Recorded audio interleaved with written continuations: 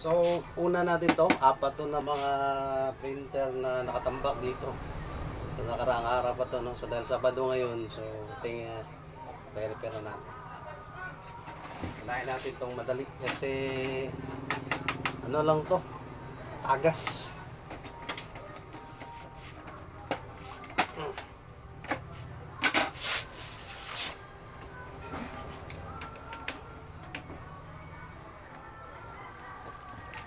life.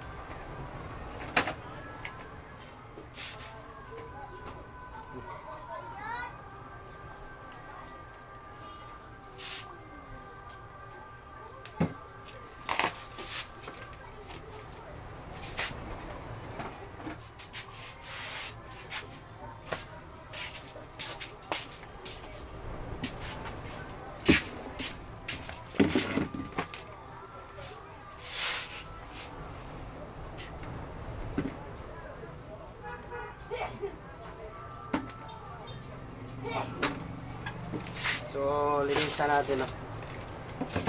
Tapos muna natin na yan, maglinis. no?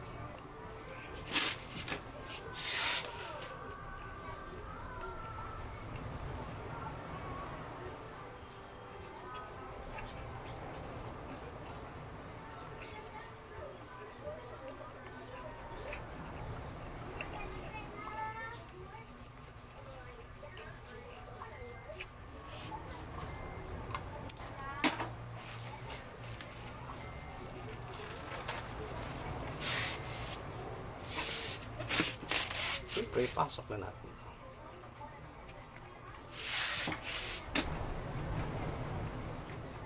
Dapat i-freeze.